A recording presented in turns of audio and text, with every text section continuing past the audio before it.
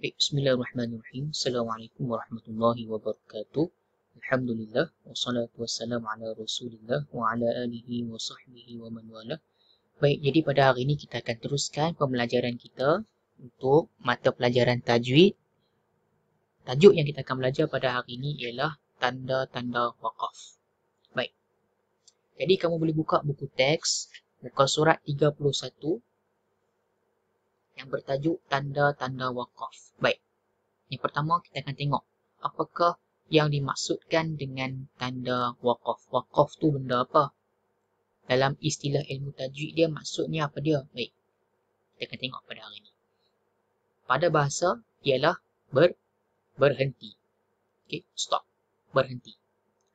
Pada istilah ilmu tajwid menghentikan bacaan dengan cara memutuskan suara di akhir ayat ataupun kalimah. Kamu pernah, semua orang pernah baca Al-Quran kan? Jadi, apabila kita membaca Al-Quranul Karim, kita akan berhenti, betul? Kita akan kita akan berhenti. Ha, jadi dalam Al-Quran, dia dah uh, bagi siap-siap dah tanda-tanda untuk kita berhenti yang ada dalam Al-Quran tu. Dia ada pelbagai jenis. Ha, jadi kita nak belajar jenis-jenis tanda wakaf tu pada hari ni. Okay? Sebab ada tanda wakaf yang dia beritahu kita kena berhenti. Ada yang dia beritahu kat kita jangan berhenti, jangan berhenti. Jadi, ha, macam mana bentuk dia, nama dia, apa dia. Ha, jadi kita akan belajar benda tu pada hari ni. Okay?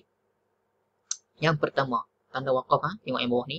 Yang pertama, iaitu nama dia wakaf, wakaf tam. Wakaf tam ataupun waqaf lazim. Ma makna waqaf tam? Apakah yang dimaksudkan dengan waqaf tam ataupun waqaf lazim? Iaitu maksud dia berhenti sempurna. Okay, berhenti sempurna. Maksudnya nama dia berhenti sempurna. Simbol dia macam mana? Simbol dia, lambang dia macam ni. Yang ada huruf mim, lalunya kecil ni. Ha, sekali kita akan tengok contoh setiap ayat yang ada tanda waqaf ini. Untuk kamu lebih mudah nampak dan kamu boleh uh, faham Okey, baik. Tengok yang kedua. Yang keduanya ialah waqaf kafi. Waqaf, waqaf kafi. Apa itu waqaf kafi? Iaitu berhenti memadai. Maksudnya berhenti memadai. Lambang dia macam mana ataupun simbol dia macam mana? Yang ni simbol dia contoh. Ada macam bentuk qaf dengan lam tu kan? Ma. Jadi bila mana kamu nampak bentuk qaf dengan lam itu, Nama dia Waqaf Kafi. Untuk yang awal ni, Ustaz nak cerita dia punya nama dengan simbol dulu. Saat lagi, kita akan tengok uh, secara terperinci ataupun dengan lebih jelas setiap huraian-huraian simbol-simbol yang ada yang kamu dah belajar pada awal ini. Okay, untuk yang awal, Ustaz nak kamu faham dulu nama dia dan dia punya bentuk dia macam mana. Tengok yang ketiga. Yang ketiga, Waqaf Waqaf Hasan. Waqaf wakaf hasan. Apa itu wakaf hasan? Iaitu berhenti, berhenti baik. Macam mana bentuk lambang dia? Ada macam bentuk suat dengan lam ni kalau kamu pasang dekat sini. Okay? Suat dengan lam. Sekali kita akan tengok contohnya. Yang keempat. Wakaf, wakaf qabih. Okay? Apa itu wakaf qabih? Iaitu berhenti, berhenti buruk. Ha, kalau yang tadi ni berhenti baik. Ha, yang bawah ni berhenti buruk. Berhenti buruk lambang ni macam mana? Ataupun simbol dia bentuk macam mana? Ni. Ada tanda lam alif ni. Ha ni. Lambang ataupun simbol dalam alif itu. Yang kelima ialah waqaf jaiz. Waqaf jaiz ni benda apa? Waqaf jaiz ini berhenti berhenti harus. Okey, waqaf jaiz maksudnya berhenti harus dalam al-Quran dia bentuk dia macam ni. Ada tanda macam jim tu. Bila mana kamu nampak tanda jim tu nama dia waqaf waqaf jaiz ataupun berhenti harus. Dan yang terakhirnya ialah waqaf ta'annuk. Okey, waqaf ta'annuk. Apa maksud waqaf ta'annuk? Iaitu berhenti ber berikat. Okey, berhenti berikat. Dia punya simbol dia ataupun tanda dia macam mana ni? Dia ada lambang titik. Ha, dia ada dua jenis. Ha, tiga, tiga di sini. Dia ada dua. Okey. Tiga di hadapan dan tiga di ha, nombor dua dia yang di akhirnya. Sekejap lagi kita akan tengok contoh setiap satu tanda wakaf ni. Untuk yang awal, Ustaz nak kamu kenal dulu. Okey, dah kenal? setiap enam-enam simbol ni dengan nama dia.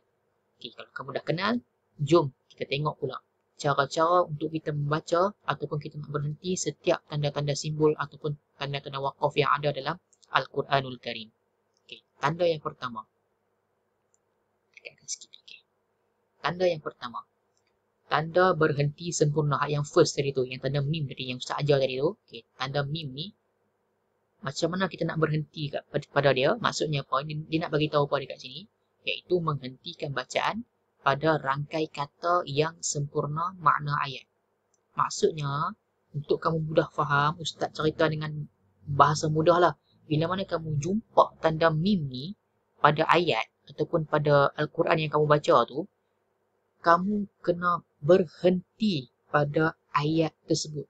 Pada ayat yang kamu nampak tanda mim ni, kamu kena berhenti. Okey? Sebab menunjukkan apa? Menunjukkan maksud yang sempurna, rangkai kata yang sempurna pada makna makna ayat. Sekali kita akan tengok contoh dia macam mana dalam Al-Quran tu. Yang kedua, tanda qaf dengan lam tadi ni, maksudnya berhenti memadai ataupun dalam bahasa Arab kita panggil sebagai waqaf, waqaf kafi. Tengok huraian dia. Tanda berhenti padanya adalah lebih utama. Menghentikan bacaan pada rangkai kata yang sempurna dari lafaz tetapi makna ayat masih tergantung. Bila mana kamu nampak tanda qaf dengan lam ini pada sesuatu ayat, kamu nampak saja, kamu boleh pilih dua. Sama ada kamu nak berhenti pada ayat ataupun kamu nak meneruskan bacaan. Kalau macam yang mim tadi, kamu tak boleh pilih. Kamu memang kena berhenti. Ha, tapi kalau yang ni, kamu boleh pilih. Sama ada kamu nak berhenti ataupun kamu nak meneruskan bacaan tetapi tetapi lagi baik kamu berhenti. Ha, lagi baik kamu ber, berhenti. Kalau sambung tak apa ke? Sambung tak ada masalah, boleh je. Tapi yang nak disampaikan di sini, kalau kamu berhenti adalah lebih lebih baik bila mana kamu jumpa tanda qaf dengan lam ini. Nombor tiga. Tanda sad dengan lam. Tanda berhenti baik. Okay. Saya cerita tadi. Jadi maksudnya tanda harus berhenti tetapi menyambung terus adalah lebih utama. Ini adalah kerana makna dan lafaz ayat masih tergantung dengan ayat selanjutnya. Jadi dekat sini secara mudah nak faham bila mana kamu nampak tanda suat dengan lam ini kamu diberikan pilihan juga sama ada kamu nak berhenti pada ayat ataupun kamu nak teruskan bacaan kamu tetapi tetapi adalah lebih baik jika kamu teruskan membaca. Ha, tak payah berhenti. Kamu teruskan bacaan itu adalah lebih lebih baik. Kalau yang ni, kamu lebih baik berhenti. Tapi kalau yang nombor tiga ni adalah lebih baik kamu kamu teruskan bacaan. Nombor empat. Tanda lam alif ni maksudnya berhenti dilarang. Menghentikan bacaan pada rangkai kata yang tidak sempurna makna ayat. Jadi bila mana kamu nampak tanda lam alif ini, jangan berhenti. Kamu kena teruskan bacaan. Okey, dilarang berhenti. Nama pun dilarang kan? Dilarang berhenti. Maksudnya kalau saya ni nak berhenti juga pada ayat yang adalah alif ni, boleh tak? Tak boleh. Kamu kena teruskan juga bacaan kamu. Okey? Yang kelima. Tanda berhenti harus ataupun waqaf jais. Harus berhenti atau boleh terus sambung bacaan menghentikan bacaan pada rangkai kata yang tidak merosakkan makna ayat. Maksudnya dekat sini, bila mana kamu jumpa tanda jim ini, kamu diberikan dua pilihan. Sama ada kamu nak meneruskan bacaan ataupun kamu nak uh, berhenti pada ayat tersebut. Okey, Boleh pilih. Okey, Dua-dua baik. Jadi ikut suka. Kalau kamu rasa kamu boleh ada nafas lagi, kamu boleh teruskan bacaan. Tapi kalau kamu nak berhenti pun, boleh. Tak ada masalah. Dua-dua baik. Yang keenam tanda berhenti berikat. Ini adalah kerana jika berhenti pada tanda pertama, maka tidak boleh berhenti pada tanda yang kedua. Sebelum wakau berhenti, kita perlu buat pilihan. Jadi bila mana kamu nampak tanda dua ni dalam Al-Quran, kamu boleh pilih sama ada kamu nak berhenti pada titik yang pertama ni ataupun kamu nak berhenti pada titik yang kedua. Ha, boleh buat pilihan. Kalau kamu dah pilih untuk berhenti di sini, maka dekat titik yang kedua ni kamu dah tak boleh berhenti dah. Kamu meneruskan bacaan. Tapi kalau kamu buat pilihan untuk berhenti pada titik yang kedua, ha, jadi dekat titik ni kamu tak boleh berhenti lah. kamu kena sambung bacaan kamu sampailah kamu jumpa titik yang kedua ni. Contoh, kita akan tengok selepas ini. Baik, okey sekarang baru barulah kita akan masuk kepada contoh contoh uh, wakaf yang terdapat dalam Al-Quranul Karim. Okay. Jadi semua baca Al-Quran. Jadi rasanya Ustaz, mungkin kamu dah pernah tengok tanda-tanda ni kan? Cuma kita nak uh, recap ataupun ulang kaji. Uh, nak tengok balik dia punya maksud dan dia punya cara bacaan yang betul. Okay. Baik, tengok yang pertama. Waqaf tam. Waqaf lazim. Bila nak nampak tanda mim dekat sini? Nampak tak yang tanda kecil tu ha, ni? Mim. Ha, nampak mim kan? Okey. Jadi bila nak kamu nampak tanda mim ni pada ayat ini, kamu kena baca. Fatawalla anhum. Berhenti dulu. Kemudian baru sambung. Yawma yada'u da'i ila syai'in nukur. Ha, nampak? Kamu kena berhenti dulu pada ayat di sini. Kemudian barulah kamu sambung bacaan kamu. Kena berhenti ya sebab dia ada tanda mim tu. Waqaf lazim tu. Baik. Yang kedua, waqaf kafi. Okey, kalau yang ni tadi yang Ustaz cerita, nak berhenti pun boleh, nak baca sambung pun boleh. Tapi lebih baik kalau berhenti kan. Okey, kita akan baca yang lagi baik lah. Okey.